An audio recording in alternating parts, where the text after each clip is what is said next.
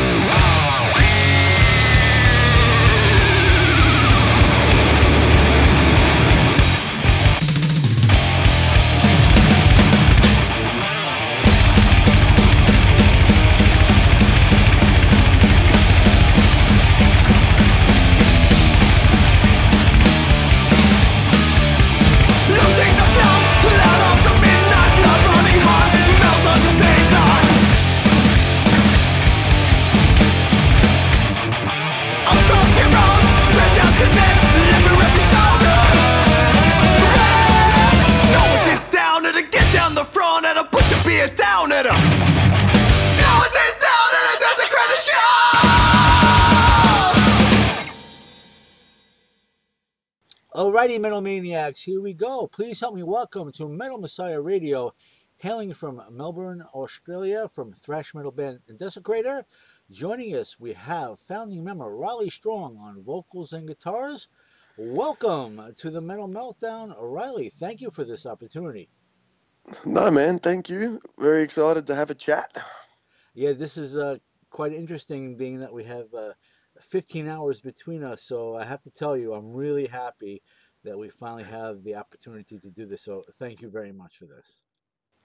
It's uh, it's awesome, man. Thank you for the opportunity, and uh, we'll uh, we'll see if the ether keeps our voices stable. That's it. That's all we could hope for. And uh, I have checked out your debut full offering to the gallows, released through Dinner for Wolves from Australia, and also through I see Violent Creek Records in Europe. So I'm I'm interested to know is uh, Dinner for Wolves your band's own label?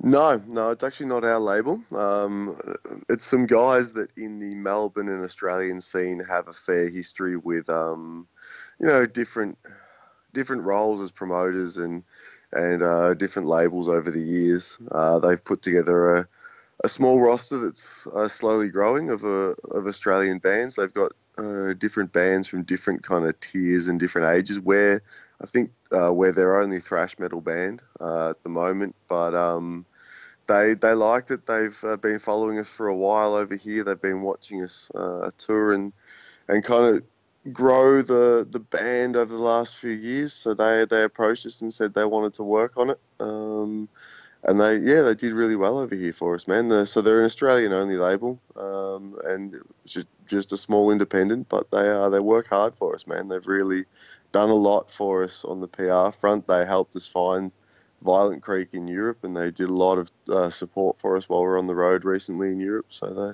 they've been really cool to us, man. That's outstanding news. I'm glad to hear that. And I got to tell you, To the Gallows, it's a really uh, kick-ass thrash offering, and uh, it's really outstanding. And I'm glad that we are here to talk about this, as I said.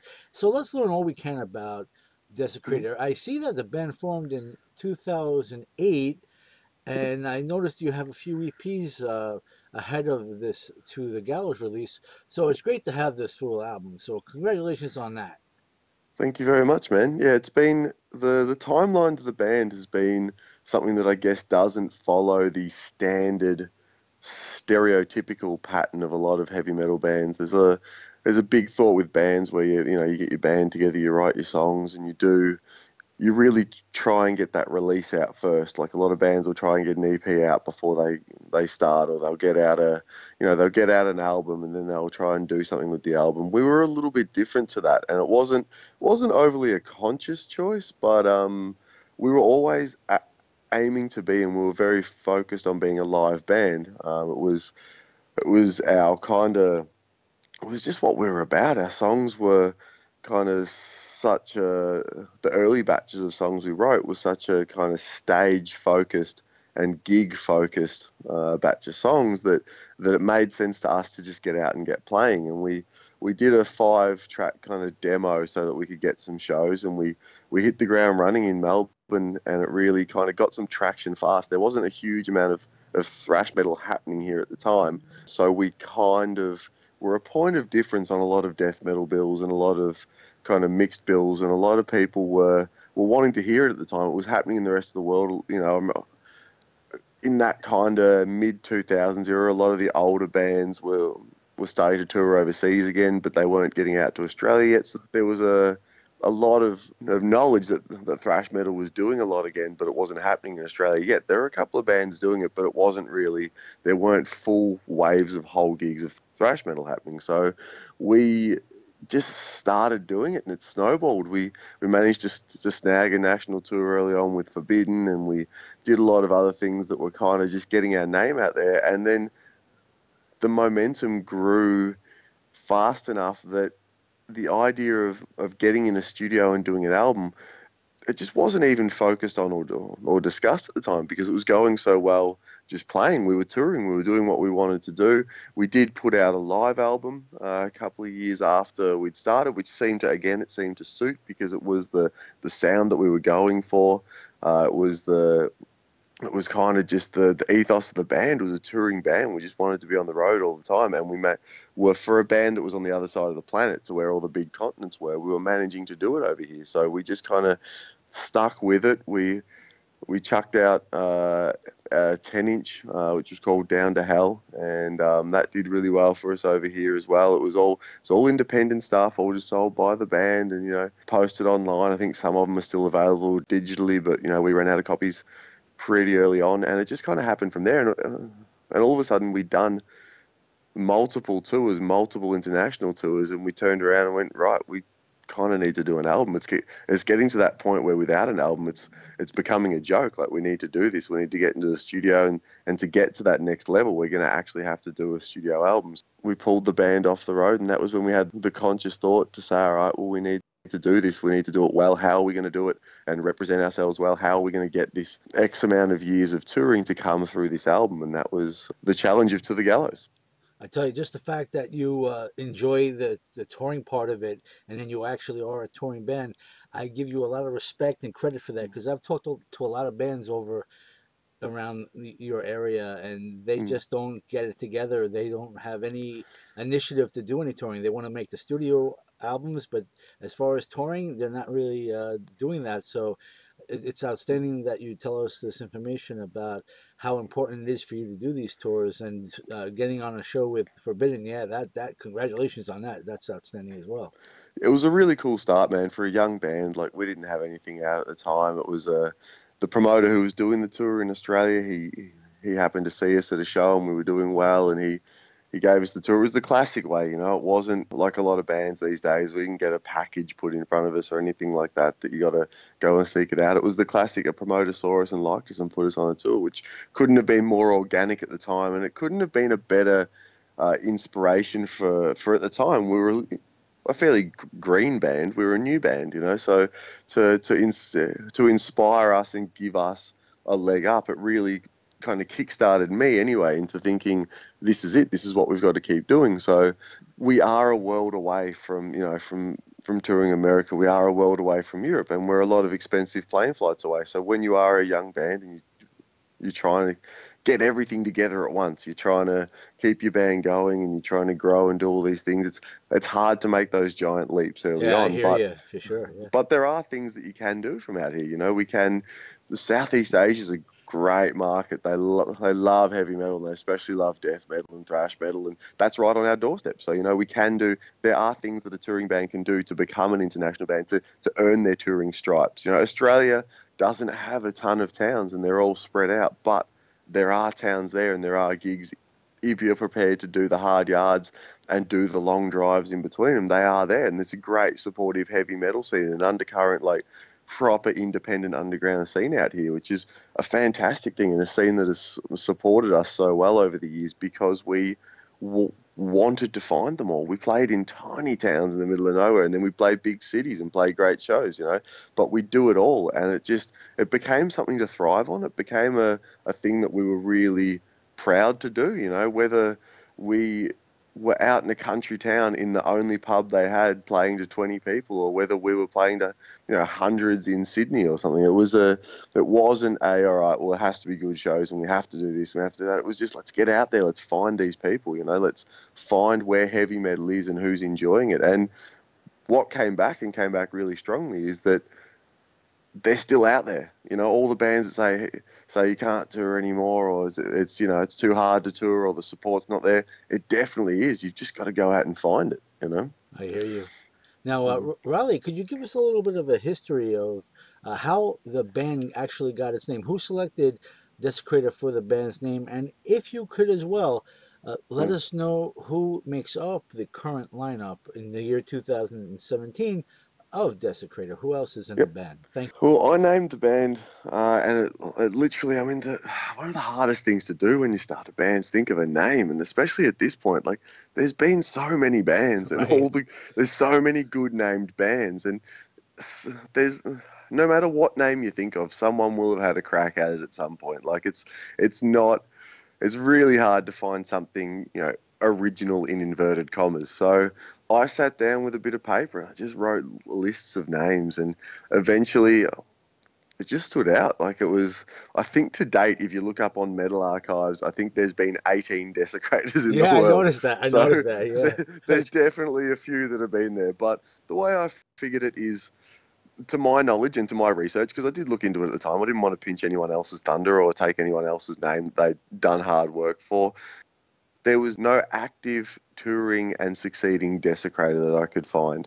A couple of bands had, had used the name at different periods, and they're you know they're in the archives if you look them up Right. but but I couldn't find anyone that I was cutting their lunch, and I was like, I, I loved the name. Uh, we had a sick logo early on, and I was like, this is it. I'm taking it. it. It's a race to the first record deal, is the way I saw it. Right. If someone beats me, then I'll back off. You know. And then you'd have to add an Um, AD at the end. a lot of bands. Yeah, go- yeah, exactly. Put put AD or put Inc at the end, like Venom have done. So Yeah, right. you know we could do something. right. But um, yeah, you know, it, it, it always suited. It, you know, having a an evil sounding name with an OR on the end is like I'm pretty sure it's written somewhere in the thrash metal rule book like you know creator it's a it's a thing put an OR on the end of a cool word and it's pr- and it's pretty thrash metal so I'm I'm pretty sure my thinking was along those lines when Yeah. I was coming up with it you know Absolutely. Um, Great call on that. yeah, man. But uh, we, at the moment, the band is in its um, what I'd probably call its second full wave lineup. Um, uh, our drummer Jared has been in the band for maybe five years now, and he's the the second drummer that Desecrators had. Uh, he came in uh, through actually uh, a mutual friend of ours, who a guy named Dave Haley, who's the drummer from a band called Psycroptic, which are fairly well known over the world. They're a tech death band from Australia. Um, uh, he linked us up, uh, and Jared uh, from our original drummer, who was a lot more kind of punk uh, oriented, uh, and he's playing very kind of Dave Lombardo, uh, and he's if you listen to the early Desecrator, there's a lot of kind of snare first, intense Dave Lombardo beats, which I love that stuff. He had extremely fast hands, but he was very much, you know, played on a four piece kit quite often. So very much in that kind of punk hardcore realm, which suits the the the, the crossover to thrash really nicely. And that gave a lot of kind of like urgency and angst to our music in the early days. Whereas Jared came in and he's a much more expanded kind of metal drummer. Like if you're going to compare kind of keep the the Slayer comparison, it was definitely the the, the entrance of Bostaph was like it was uh, he's much more open handed and much more kind of expanded in his heavy metal playing, and that definitely helped the songwriting of To the Gallows. Uh, I use him a lot for um, for arrangement ideas. I use them a lot for production ideas, and we still do it in that traditional Lars and James in the room together type of vibe.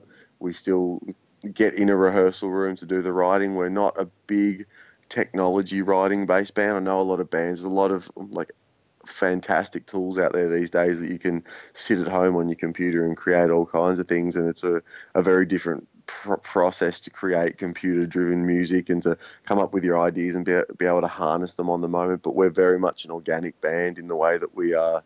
We do still write at a thousand decibels in a room until it feels right, you know. Nice. Um, the other dudes, we've just had a new guitarist come in before the uh, the Airborne tour we just did across Europe. His name's AJ, and he comes from a uh, more power metal background. He's a, he's a brilliant guitarist. He's one of the the most freakishly phonetic musicians I've ever worked with in my life. Um, we again, uh, our last guitarist Scotty was an amazing part of the band, and his stamp as a lead guitarist that he put on Desecrator was a fantastic thing for years. Uh, it came to the end of a working life, and now we've got a big red-headed bloke who looks somewhere between Zakk Wylde and plays like Skolnick. Like it's uh, it's been a really cool change. Very nice. And then, uh, and then of course, because I'm a big guy for symmetry, I've got to have a big tall redhead on the other side of the stage, and that's Jerry, our bass player. So if I've got one big tall long head redheaded bloke on one side, you've got to do it on the other side, because otherwise the stage will feel lopsided. So that's Jerry, our bass player, and he's just cl- classic. The Thunder from Down Under bass player, which you know you can set your watch to that bloke, so it's awesome. It's a good lineup, man. It's a healthy lineup. They've stuck with it. We're enjoying a lot of great growth with the album, and the guys are really proud to to be an international touring entity and to, to keep pushing, man. It's an exciting time. Yeah, it's a great accomplishment for you as well. So let's spend some more time talking about To the Gallows. Can we learn who produced this and where and which studio this was recorded in? Yep. We didn't uh, sign on a a named producer. Uh, we did talk about it. It's a proven thing that, that having an outside influence and a respected outside influence can do fantastic thing for bands writing. I'd love to one day have the budget to actually sit in a studio with a proper producer and do that. We, you know, we didn't have that luxury this time. Jason Fuller, who runs a studio in Australia called Goat Sound Studios, he he punches out a lot of a lot of grindcore and a lot of heavy metal. He's got a really good active studio here. He was our engineer, and he actually runs a rehearsal room on the side of the studio that we rehearse at. That's kind of our home base. We store our backline there, and we've kind of written and workshopped a lot of the songs there. So the space that we were in felt really natural. So when it came to deciding on the studio, it seemed to make sense that, that not only was it a fantastic studio and he's a great engineer, but we felt comfortable there. So we didn't turn up to a place that we'd never been. It wasn't a foreign, you know, a foreign space that we had to try to create a vibe in. It was it was somewhere that we knew, somewhere that we understood. So uh, it was a no-brainer on that, and he naturally put a bit of a producer's hat on. Just you know, I think most engineers, uh, if you have a good relationship with them sonically, and you know personally they won't keep their opinions to themselves. So he put a bit of a producer hat on.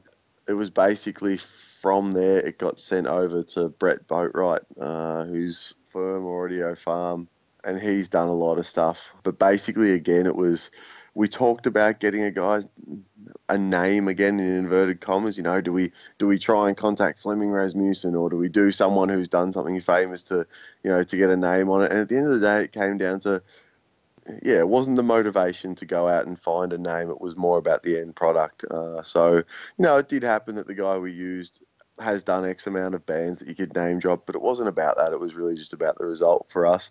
It worked out really well, man. It, it was a, a seamless process. I cut all my vocals in front of a cardboard cutout of Blackie Lawless was screaming at me, so I screamed at him, and it seemed to seemed to work. Yeah, outstanding. And uh, I remember the first tune I played off the off the album to the gallows was "Thrash is a Verb." It's a really fun tune, yeah. and it kicks ass. The album's kick ass, and you have a couple, uh, at least one slower tune on it that's a little, you know, different than the, the rest of the music. But yeah, a, an outstanding offering, and uh, also yeah, also the cover art is very interesting. Yeah. It has a very, I would say, like a sci-fi horror type of imagery. Could you tell yep. us who designed this and uh, who also who designed the current logo? The cover again was a, a guy in Australia. He's a he's a tattooist uh, by the name of, of Jason Sposito. If you want to look him up on Instagram, which you should, because tattooists on Instagram are sick. They do great work and put it up there. I think he goes as Spud Spudzito for anyone who wants to look him up. But he uh, he he works at a shop in Melbourne he'd done a couple of shirt designs for us in the past. He kind of uh, played with some art for us, and he's a really cool dude. He's a young thrasher, and he's doing great things in the tattoo world. Like he's getting a, a really good reputation over here um, for doing phenomenally detailed black and grey tattoo work. So when it came to doing the uh, the album cover, we didn't really know what we wanted. I had kind of an idea of of the concept, but I'm not really a picture guy. I don't see these things. I couldn't sketch it out. I just had an idea of, of what I wanted it to represent. So I literally walked in and said, "Man, I'm sorry. This is going to be really unhelpful, but here's a whole bunch of words. Can you make art?" and he he nailed it, man. Like he came back. The first thing we saw was the full layout of the album. That was just obviously when I gave him a disjointed, you know, uh, design brief. It it came together in what it was, and the the actual the actual original of the artwork uh, is a, a, giant painting. He painted the whole thing out, and if, uh, when he sent us the um, the digital scan of it, I remember sitting down with it and zooming in on different spots to kind of just checking out the detail. And the dude owns like six or seven cats, and the thing was just covered in cat hair. There was oh, clumps wow. because when he'd painted, the cats had come past. So if you zoom in far enough, you can actually find little, little bits of his cat's hair uh, in the artwork, effect. and I thought it was cool. I'm like, I love it in there. That's definitely it's it's so cool that that's like the human aspect of this. You know, it's a right. it's a real painting done by a real dude in his lounge room, and he sat there at night when he wasn't working doing it, and I love it. I really uh, there was something about it that that appealed to me, so I kind of dig that it's that it's hidden in amongst all the grim heavy metal. There's cats. But um, yeah, yeah, so that came together really well, man. Uh, you know, again, we are really happy with it. Uh, it looks sick on the vinyls. Like, I was big on wanting a wraparound cover that that uh, went all the way around from the front to the back and had a scene that joined up and wasn't a cut image or a, a reworking of the front on the back. I wanted a full piece, and yeah, he's done it really well. The um, the logo has been has been the way it's been since day one. Our first ever bass player. Uh, came up with it, and he he sat down and, and sketched it. I told him again it was was one of my really bad design briefs of you know I want a logo that is a is kind of a it's an image as much as it is lettering. It's a, a recognizable shape that, that will be a stamp on people's chests. I want them to know what it is without having to read it as soon as they see it. I want anyone who's read Desecrator's logo to be able to come back and s- uh, see it at a glance and know it's desecrated without rereading desecrated. I think he nailed it because it's a it's a shape, it's a it's a badge, you know, and Yeah. that was a big thing for us. So we stuck with it. It's had a few little different incantations, which I'm sure all bands do, but uh, I'm pretty happy with the form of it at the moment. We don't get asked too much. What does it say? We only get asked occasionally. What does it say? And I think that's a good ratio. well, you, you definitely have a lot of great great things going for you in the band between the imagery and the sound. So you know, excellent on that. And you had mentioned the Airborne Festival, and from what I noticed on Facebook, you were very busy during this time. So would you like to uh, spend some time talking about? Some of your favorite moments of the Airborne tour, and if you'd like to let us know about any shows in the near future that you may have coming up, we could spread the word on that as well. It uh, the airborne tour was fantastic, man. Those uh, it had been a thing that you know they're from Melbourne, Australia as well, and we know those dudes. They've um, they've come down to to a bunch of shows over the year, and I think that was actually how I met them properly. Was that they'd come to a couple of shows, and I knew who Airborne were. Of course, they're you know they're just as big here as they are uh, overseas. We kind of met them, and we talked about a couple of times the idea of going on the road together and how it'd work because you know they are such a a rock and roll band. They're they're the most Australian rock and roll band you could currently put your ears to, type of thing. Um, and you know we're a lot heavier than that, but we both bands felt that there was something that kind of threaded us together, whether it was an Australiana part of our sound that, that both bands have that you know is a point of difference, or whether it was we're both a very front man strong band, uh,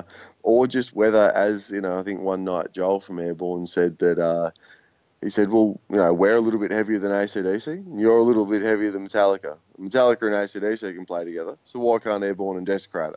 And that was the conversation and it was that simple man you know it was it was a cool idea that came up and they're doing so, so well on their on their breaking out of hell tour in Europe they've got such an amazing following that it was it was a huge opportunity for us to get exposed to a whole different audience you know we'd we'd done previously last year we'd been out with uh with Overkill and we'd been out with Venom Inc. and we'd you know we'd been out with Hirax the year before that so we'd done a lot of European stuff but they'd been really, really suited, you know, within the thrash metal genre tours for us. Um, so this was a chance. It was a chance to expose ourselves to a bigger audience and a wider audience, but still a heavy metal appreciating audience. So it was cool, man. We went out not knowing ex- exactly what it was going to be, but that also again because because as I've mentioned, you know, the live thing is such a focus for us. That was really something to, to thrive on. Like we wanted to go out there and, and prove ourselves. You know, we wanted to go out there and prove that, that thrash metal could translate and prove to ourselves and pr- prove to, to everyone else that, that thrash metal is not an insular genre. It's not a, uh, you know, stuck kind of within its own Cattlegate genre. Thrash metal can, like it did in the 80s, it can transcend it. It, it goes to heavy metal fans. It goes, Judas Priest fans will still get it. Iron Maiden fans will still get it. Metallica fans, of course, they'll get it, you know? It is an inclusive genre, and it's a genre that, that metalheads won't often turn their back on. You know, I'd, I've always said that, um, you know, two things you'll agree with a metalhead. Everyone will get drunk and talk to you about either Reign in Blood or Ride the Lightning. No matter what heavy metal they're into, there'll always be a conversation about one of those two. It always comes back to thrash metal. Everyone's always had a point of their life where they've grown up with or been or been influenced by, and that was why we really wanted to get out and prove we could do it in front of these big audiences. And you know, for a, a lot of the shows on that tour, man, we were playing to bigger crowds than we ever have. Like walking out uh, to the Olympia in Paris, which is like a big old three, three and a half thousand person uh, venue, and that's those type of crowds are up the top end of what we've ever done. They're big stages and big old th- theater rooms with big balconies on them, and it really was. It was a it was a next level experience for us to be exposed to those crowds, but not only to get out and play in front of them, to to feel like they got it, you know, to, to have great reactions every night, to to get the circle pits, to get the you know the crowd surfers, and to get them all chanting and singing along was was one of those things. It's what you do it for, and to do it on that level to a, a crowd that was outside of our box was just it was a feeling of accomplishment, man. It was a really cool thing to do, and it was something that we, you know, we're we're hundred percent planning on capitalizing on because we f- feel like that we're, you know, reminding ourselves that that thrash metal is not just for the thrash clubs. There is no boundaries. We set our own boundaries. You know, I think that that it's a cool thing. So, I mean, the the tour was wild because you know it was a bunch of Australians and a, a, a crew that were used to Australians. So there was a lot of lot of crazy nights, a lot of fun stuff, and the bands were getting along so well. Uh, for the most part, it was a two band package, so it was just Desecrator playing before Airbourne, and it was a really cool, a bunch of dudes who were really excited for each other and really happy to see each other succeed. Like every night, we'd be side of stage watching them kill it, and they'd be between their warm ups, they'd be running out, you know, for our set and kind of just cheering along. We had that real camaraderie thing that makes for special memories. So it was cool, man. It was a really fucking cool tour, and it was something that I think we'll take with us and use the lessons from for years to come. So yeah, it's it's it's something that we're already we're discussing now with different promoters what is going to be the move next year as far as shows coming up. Um, we don't have a lot going on in Australia right now. Um, which is kind of by choice. We've come back to regroup. We're really excited to be on the back of a tour like that and to have the inspiration to create. We're, the band's in a really creative space, so we're harnessing that and we're using that. Um, you know, definitely the tail end of summer, we've got some some kind of things firming up that'll be exciting for Australia, and we're de- we're in talks at the moment with hopefully getting back to Europe on our own headline tour really soon and that's something that we're really excited to do. We've never done that before. We've always been over as a support band, so it's going to be a real test to see what kind of clubs we can do and you know who the return audience is. Uh, but for us, it's time. It's time to go out on a limb and to, to give it a go out on our own two feet. So that's a it's a really exciting thing again to kind of do something that we haven't done and again push the unknown and say, all right, well how's this going to go? Let's go find out. You know, we've done headline tours in countries that haven't known us before, so let's uh, try it in a country that seemed to start to know us. Let's give it a go. Let's give it a go in the the motherland and you know the place where German Teutonic thrash was born. Let's go and try try some Aussie thrash under our own feet and see what happens. You know. It's quite remarkable your accomplishments already, and you're such a young band. You have so much going for you. I'm so proud of you, actually. So this is really great what you've shared with us. I really appreciate you taking the time to talk about these these shows that you've done and everything that's going on for you. Yeah, total outstanding news. I, I really appreciate. Thank you very much, man. It's really it's uh, it feels you know I'm sure any band that's listening to this will will understand the emotional roller coaster that you go through, especially in an independent a heavy metal band. You know, we all everyone's got day jobs, everyone's got got lives back home that you have to run on a knife edge to do these things. Everyone has those those middle of the night doubts where you you go, oh, how am I going to do this again? Like, how am I going to do another two years of this, or how are we going to pull this off, or you know, how am I going to for different band members, how am I going to tell my wife I'm going to you know go and do this again? But everything that we've done, everything that we've kind of every little milestone that we've stuck our ne- neck out for or financially just gone out on a limb everything has just come back at the right time. Every time we're almost like wow is you know is this going to work? or you know have we done the right thing? There's that that little thread of hope comes through and that little payoff comes through that just keeps you hooked in just keeps you going. It's like you know, thrash metal will keep you lean, but it keeps you keen, type of thing. So it's, it's something that that uh, that I think I'm sure a lot of bands can relate to. But it's that that little bit. As long as there's a a, a little thread of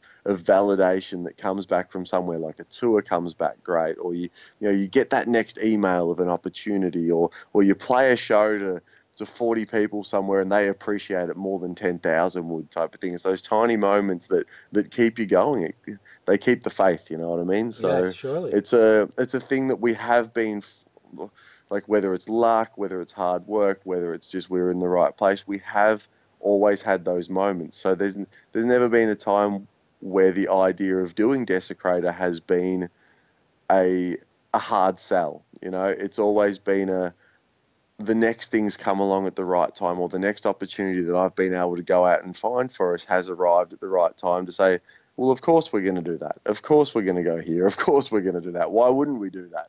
So it's it's been you know it's been hard, but it's been a no brainer. You know, as to the the growth of the band, and I feel really fortunate for that. And it's something that that you know you never know that could end tomorrow, but. Uh, hopefully it doesn't. I doubt it will, and uh, it, it's rather quite refreshing. Uh, your, like I said before, your accomplishments, especially, you know, we're in the underground. We are Mm. th- thrash metal. Yeah, we are in the underground, and and what you've been able to do in Mm. a relatively short period of time is, is really remarkable. So I, I want to uh, give some links there for uh, the fans of Desecrator that Yep. can't make it to your shows over there in Australia, or even can't even see you maybe in, in Europe when you do shows over there, so that the fans out there can support you somehow by, by getting merch. So I'm going to start off with your Facebook, facebook.com forward slash Desecrator Aus, A-U-S, and then you have a Bandcamp where they could download the digital files. That's Desecrator also AUS dot bandcamp.com and then you have your official site of uh, desecrator.net now you had mentioned earlier about the vinyl and i'd like to know what we could tell the fans as far as what merch you currently have ab- available for them as far as Yep. uh, the the cd of course and, and shirts and stuff whatever we could tell them it'll be great Now, because because we've done a few of our releases independently before this uh, recent one, there's it's a funny thing. There is different things by Desecrator from over the years that you can find on different platforms because they've just well, stayed low. For example, I think I'm I'm not. 99% sure that our Bandcamp is the one and only place that you can still purchase Live Till Death, which is our first record that not a lot of people knew existed. But in, in Australia, that was the record that built our name. Like, it never made it overseas, apart from on a few, like, uh, totally traded distros.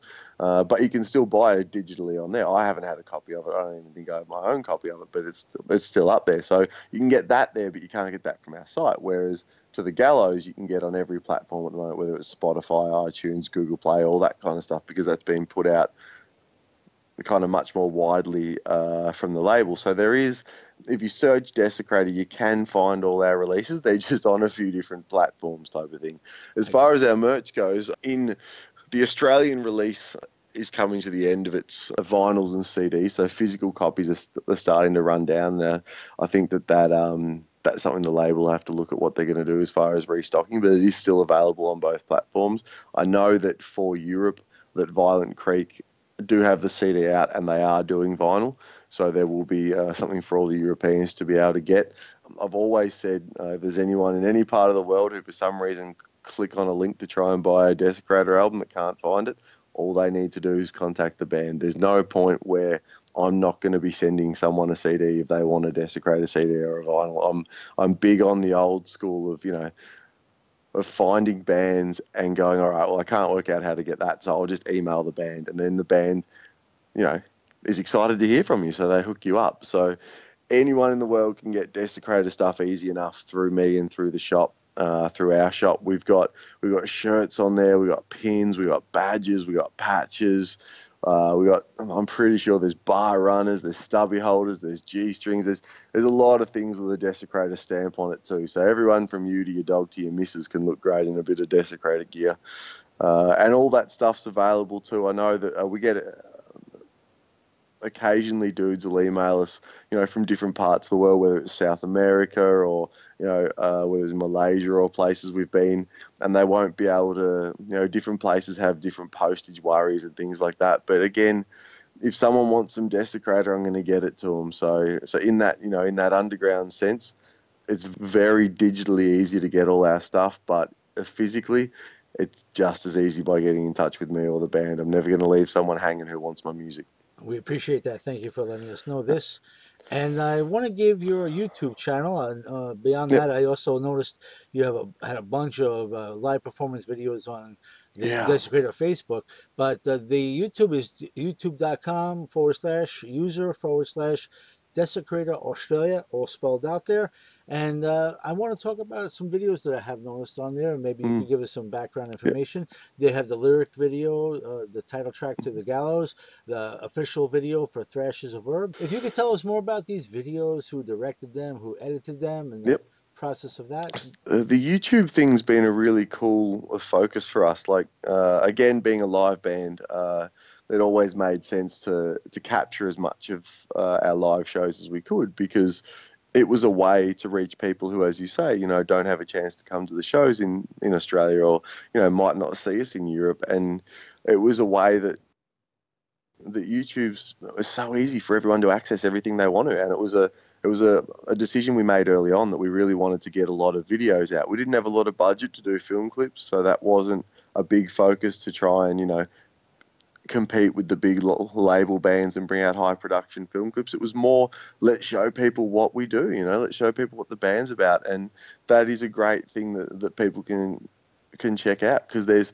there's video, you know, the, there's live video from from playing in Brazil when I I smashed my ankle falling off a bar and I'm sit, Oh. sitting down on a, a stool every night with my my ankle in traction. You know, playing playing the last eight Brazil shows just just sitting at the front of the stage. There's videos of that. There's videos of playing to thousands of Airbourne fans. There's videos of you know backstage with Crowbar on tour with them. There's video. There's all kinds of stuff we've got out there, and it's gr- great to be able to share that content. It's great that that content can be captured and put on a platform that people can watch it as many times or share it with their friends, and we can push it out and say, check out how good this show was. It was a really you know cool night. We wish everyone in the world could have been there, but obviously you can't. But you can see it. You know, it doesn't. Those moments don't have to be just just momentary anymore. They're captured. They're they're there forever. So that's a really big thing for us. And you know, when we were thinking about the film clips for the songs for To the Gallows, um, doing Thrash is a Verb as a live clip, uh, that's all footage from when we toured last year. It's got footage from uh, a headlining Brazil tour we did, uh, a Mexican tour we did.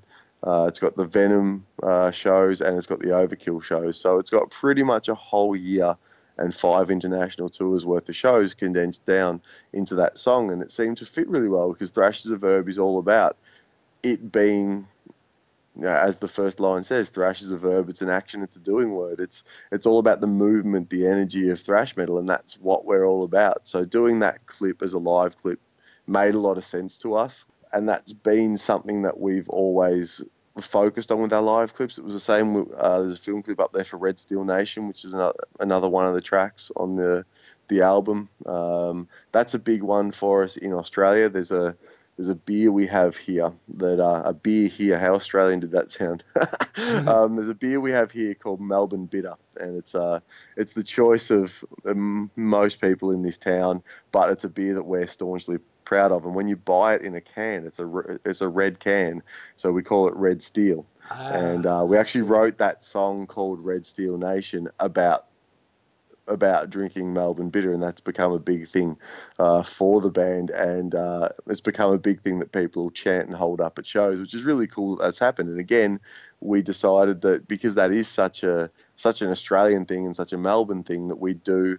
uh, We'd film. I think we filmed maybe three or four shows uh, to do that one. I think one of them was supporting Sepultura. The other one was uh, a couple of them were just uh, Desecrator club shows here, like really kind of sweaty 300 person kind of club shows in, in tiny rooms. And it, it made sense to put that out because we were showing all the people, you know, becoming so staunchly proud of that song there in the clip. So our clips have kind of been no brainers in that way. We just focus on what we've got. The the lyric video for To the Gallows, I've got a really love hate relationship with. Um, that was an idea the label really wanted to put to to push us to do, and I think it's the one and only time that a label's won an argument uh, to do something Wow. that, that I haven't been 100% keen on because I, I just lyric videos like they're relevant heaps of bands do them but they just don't do anything for me I just I don't know there's something cringeworthy about a lyric video like I'm I'm cool with people wanting to know the lyrics, and we write them in the albums. And you know, I like reading people's lyrics and going through them. But lyric videos was just something that we were like, oh,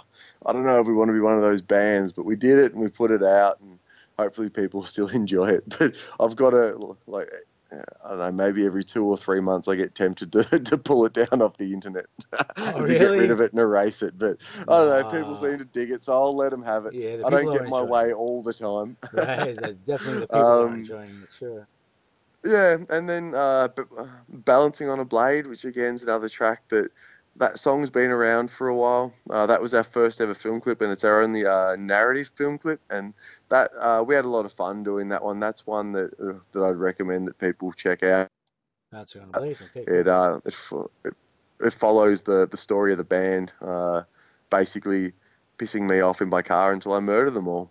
Uh, there's a lot of it's it's just shot in a really kind of B grade horror s- splatter movie style. There's a lot of fake blood gets thrown around, uh, and it's really uh, a friend of ours uh, in Melbourne is a is a horror movie maker. He runs a company called Fan Terror Films, and he does a lot of independent horror movies over here.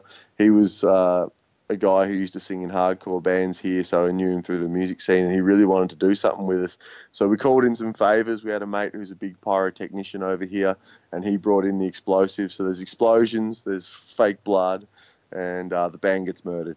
So uh, I, de- I, I definitely recommend people check that one out. The band gets pretty cool. Oh, that's Yeah. No, we can't let that. Yeah, well, they shouldn't have pissed me off. They spilt, they spilt beers in my car. They picked their nose in my car. They give me the shits in the car, so I had to murder them.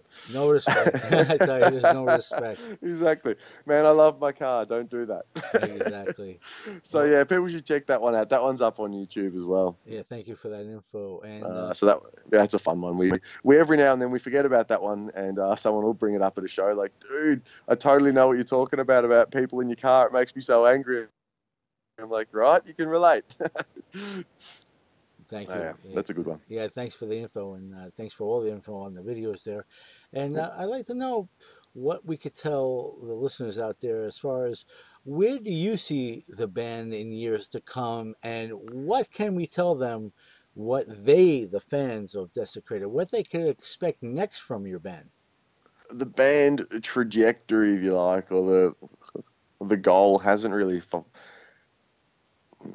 kind of hasn't faltered from day one. We really we started this band to play, and that's all we want to do. We just want to keep playing, man. We want to take Desecrator. We'd love to take Desecrator to the states soon. It's been an idea that we haven't explored too far. Uh, we've put a lot of f- focus into Europe because Europe showed us a lot of support early on, uh, but we'd l- Exactly. Yeah. love to get some support uh, and get over to the states. We tour with a lot of American bands in Europe, uh, so there's a lot of kind of a lot of dialogue going on there about opportunities. That's great You know, we, news. we yeah. toured Australia early on with Havok uh, and got along really well with those dudes. And uh, as I mentioned, we've been out with Overkill and Crowbar and uh, and Hirax and played with DRI in Australia and a lot of bands. And the, they've come out here from the states. So you know, we'd love to get a tour over there and you know go and see America and see see what is happening in the live scenes over there and what's happening in the thrash scenes over there. Because again, you know, you go to any landmass and their their interpretation of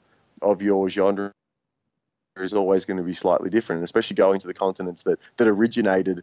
You know the genre that we hold so dear. It's nice to go and see the pure strains. You know, to go and experience uh, people playing something that you've grown up idolizing it, but but playing it from a perspective that was closest to the original gene pool. So we'd love to do that. We'd love to return. You know, as I'm saying, we're talking about returning to Europe already, and we we definitely want to get back to to South America because that was a really cool thing for us, and you know revisit all the the places. But I think it's going to be a a case of what's the next record going to look like? You know, when's it going to come out, and then when are we going to tour it? Type of thing. We've already started writing, as I you know briefly mentioned before, which is a really cool thing for us uh, to get into that creative space and to to harness that at the moment. I think the the music that we're writing, as any band does, album to album, you try and try and outdo your last album, or not. You know, not really beat the last album, but you try and obviously uh, keep the quality going and you strive to release the best kind of music you can and you apply what you've learnt in the time in between like whether it's uh, feedback from shows or watching how an audience reacts to, to the band. You know, you try and incorporate that into into your next batch of songs so that you can best communicate your music with your fans and make songs that they understand. So we're in a really cool period at the moment where the, the music I think is is the most intense it's ever been, which is a strange thing for us because it was already kind of at the peak of intensity for what we were writing. Um, but it's it's coming out thick and fast. It's coming out really like foot to the floor, kind of proper fast, you know, fast forward music. So uh, we're enjoying just sitting with that and writing where it goes. We'll try and get something out. There's a bit of a plan. We're gonna try and the label are pretty keen for a single to come out over summer here. So we're keen to, you know, we're, we're exploring what that'll look like and what the song's going to look like. And that'll hopefully be something that that people can sink their teeth into and go wow you know like i you know whether they discovered us onto the gallows or to the gallows was just the most recent album they heard of ours like they can they can go all right well to the gallows was cool. I like this song. I like that song you know whatever. But it seems like they're kicking it they've found an extra gear. It seems like they're going to fast forward even further. So, you know, I'm, I'm keen to show progression. I always like showing the bands onto the next phase and the next step. So that's something that's re- you know really cool for us to be able to get out there. So we're looking forward to doing that over summer and you know see where that leads and if we can get it out strong and what the label want to do with it, uh, and then we'll from there we'll you know go gung ho into some shows and keep writing the record and, and kind of springboard to see what we can do uh, with the growth of the band uh, internationally. And then that'll kind of pave the way for the next few years because as long as we get those little encouraging signs that there is the next tour or the next promoter contacts us and says, "Hey, we're doing this thing. Do you want to be part of it?" You know, something I can build a tour around, or getting a festival here, or a, a great, you know, great lineup of a show there those things are enough to just show us we're on the right track and that we can just keep building, man. And slowly we just hope to play to bigger crowds in more places in the world. We hope to meet more people, play with more cool bands, discover more local bands, you know, like us that are on different continents and build that network of, of bands that can tour together and bands that kind of hook each other up and help each other out. You know, like just build that that underground ethic and ethos, but build it on a bigger scale to to more people as we go along and collect them as we go. You know, it's going to happen for you, and that's great for for you and for your fans because your fans totally uh, they love you and your music. So definitely they'll be there for you and watch you grow, and we're all going to be very happy when this does happen for you because it's going to happen. There's, there's no way yeah, you it, can deny that. I don't think that we're going to stop until it does. I think that's the thing. It's actually there's no choice in the matter. Like we're just going to make it. Like there was a conversation I can remember just before we got our first uh, first European tour. It was uh, just before we went. Uh, we did a bunch of dates with with Hirax, and then we did two weeks. Uh, we did in Russia after that tour. It was a, it was our first time that we were going overseas, and we are all sitting around as a band looking at the contract and just going through the the nitty gritty of it uh, at the back of someone's house. And, and we, were, we were talking, and the dudes were like, you know, what you know, what's the way we're looking at this, and do we need to, to think about involving labels? Do we need to wait for this? Do we need to wait for that? And everyone, it was this great moment where everyone agreed that this band won't wait. This band will continue to grow no matter who wants to involve themselves from the music industry. This band will continue to push forward, to push the envelope. And anyone who wants to get on board, good for them. But we're not going to wait. We're not going to stop, and we're not ever going to, you know, hold ourselves back because it's just there's no reason to. There's no reason to wait. Everything you could want to do as a band is at your fingertips these days, and hard work makes it happen. So we just aren't going to stop, man. no, and the underground all needs to stick together as as that's the norm. Because with exactly, with man, numbers, yeah. everything can happen. Never leave any yeah, stone totally, un, man. Un, un, unturned for sure. Yeah, and if there's one scene and crowd who, uh, you know, a staunch, you know, stiff upper lipped and supportive to the bitter end, it's metalheads, man. Yeah, like man. like metal crowds are like no other. They they really are, and like pr- proper proper in it for life. You know, uh, like fans of heavy metal, they never grow out of it. They never get over it, and they never stop enjoying discovering the next piece of it. You know, like whether it's a local band or some big band that's come out by a label, metalheads love knowing the next thing. They they love the next, you know, the next piece in the puzzle of their of their record collection, and that's something that it, it sets metal fans apart, and it's something that that you know.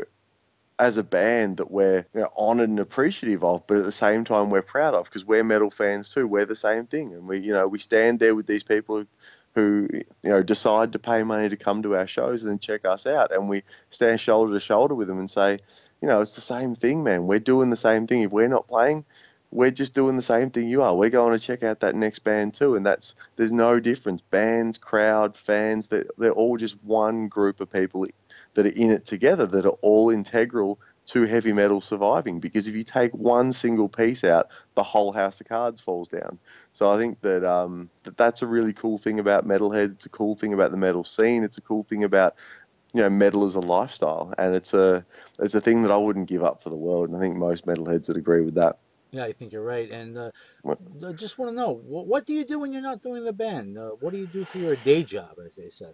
I, I've been through a fair few different ones, man. I've uh, been everything from I for for years and years I worked in a guitar shop, which was a pretty cool job. I think that's a like as a young guy, that's like a, dr- a dream job for getting straight out of high school, and I sat in that one for a long time. I've been uh, I'm a tow truck driver. Drive tow trucks and drag cars up chains and go get smashed cars and broken down and burnt out cars and drive big trucks around the place. I do a bit of that, and I just pick up any jobs in between, man. For me, Desecrator does enough, and Desecrator's busy enough that I just have to fill to fill the gaps. So I don't really care what I do for a job because it's not the focus of my life. The focus of my life is Desecrator, so I just need to pay the bills while I'm home. You know what I mean? I got you. Yeah, Yeah. But uh, but as far as jobs go, driving driving tow trucks is uh is one of the more fun things I've learned to do in my life. It's like it's like playing with your toy cars when you're a kid and smashing them into each other, just on an adult scale. yeah, you must love pushing things up. it's a it, lot too. of fun. It, it, it kind of suits the heavy metal vibe. Yeah, it, it works. Yeah. exactly. Not bad at all. So, Riley, I, want to thank you very much for spending time with us tonight on the Metal Meltdown on Metal Messiah Radio. I do believe we learned that Desecrator is the real deal and has a lot going on for it. So, I owe you a lot of congratulations, and I want you to keep in touch with us here so that we could follow up with you and talk about your future releases and and everything related to Desecrator. So definitely, you know, keep in touch with me so we that we in the underground we could help each other by by uh, posting for you, sharing the word on whether you have a new release or whether you have a new video or a new uh, show tours lined up or anything like that. So definitely keep in touch with us so we they can do you know what we can for you. So I have to tell you, it's, it's been a pleasure, and you've been a very charming uh, interview. I must say that, and I'd like to know if at this time you would like to say anything to your fans that are tuning in out there. Man, I think the biggest thing that you know that that I can't take enough opportunities to say to you know to to people like yourself who have taken the time to check us out and offer us a chance to to communicate with people on a, pl- a platform to the people who are listening to this and going to potentially ch- check out the interview and then be interested enough to maybe go and you know see the band if they get a chance or or check out a YouTube clip while they're sitting listening to this or you know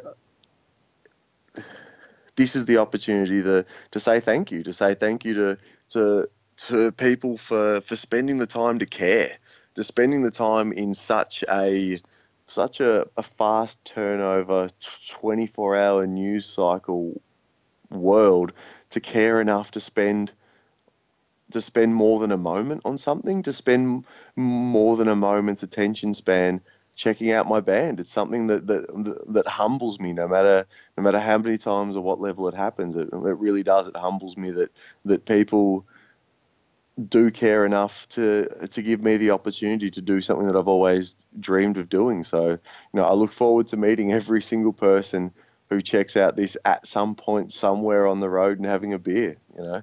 And I do look forward to to keeping in touch with, you know, with the program to be able to report back in and say, you know, hey man, it's been 12 months and we've done this and we're real stoked to be able to come back and say, here's what we're doing. You know, it's a really cool thing and it's a it's as you say, the underground stick together, and it's a cool it's a cool thing to achieve things as part of the underground because when a band that's linked into a proper network of people achieves something, we achieve it on behalf of everyone who believes in us. We don't just achieve it for ourselves. It's not a selfish thing. It's, you know, of course, we are out here living our dream and loving every minute of it. But at the same time, we're achieving something for, for everyone who bought our record, for everyone who believed in us, for everyone who said, all right, I'm going to support Desecrator because I believe they're going to do something. Every time we kick a goal or, or reach a milestone, you know, we validate their belief and their time to actually support us. And that's, that's something that I'm really proud to do for people. You know, if people uh, spend the time caring about us, we spend the time caring about them, you know. Yeah, those are very meaningful words. I'm very glad you said it. I could not have said that any better. And I am so happy that we actually had the opportunity to do this. Before we go, I just want to wish you and all in Desecrator a great new year. May you have some great shows coming up in the year 2018. You know, Happy New Year and all that. And uh, Thank you very have, much, man. Yeah, may you have continued success. You sound, you know, what I got from from our conversation is you have everything in, in, in the right order. I mean, things are working out really good for you. But I know you've been real busy and with the shows with Airbourne and all that. Uh, so yeah, congratulations to you and all your accomplishments again. And just keep doing what you do, and we'll be here to talk about it. Damn straight, man. It sounds like a plan. We'll both keep at it, and we'll uh, check in and be happy about it at a later date. Sounds like a plan. But for now, let's go crank up some more Desecrator. Hell yeah, man.